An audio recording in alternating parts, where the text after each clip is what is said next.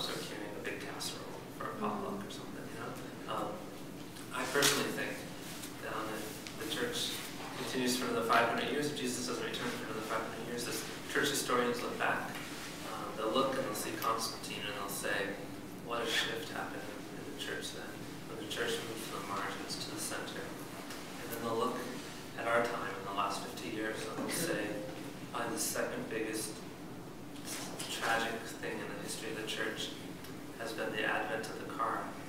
Right. Seriously, because the, the parish church mentality is gone.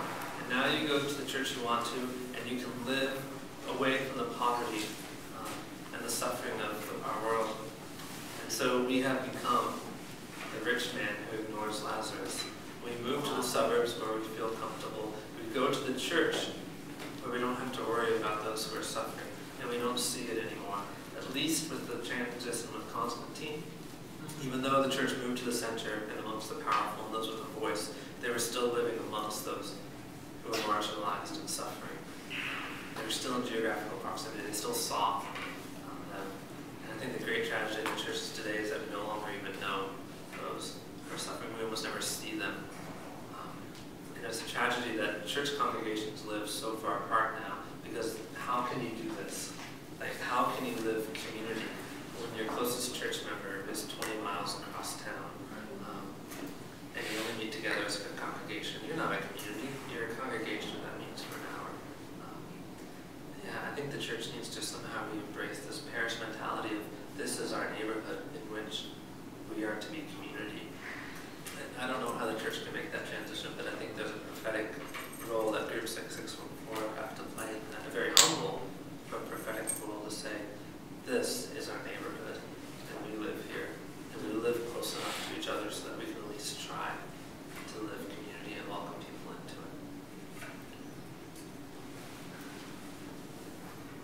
Ah, faça os.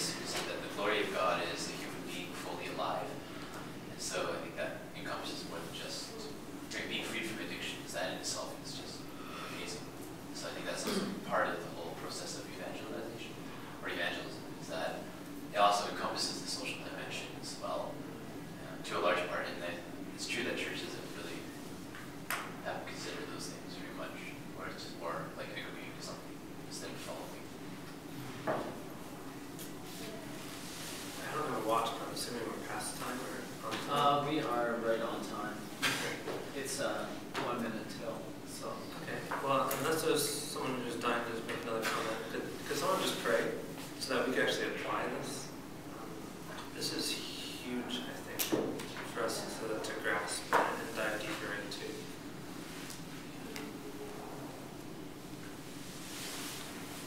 Someone who would pray.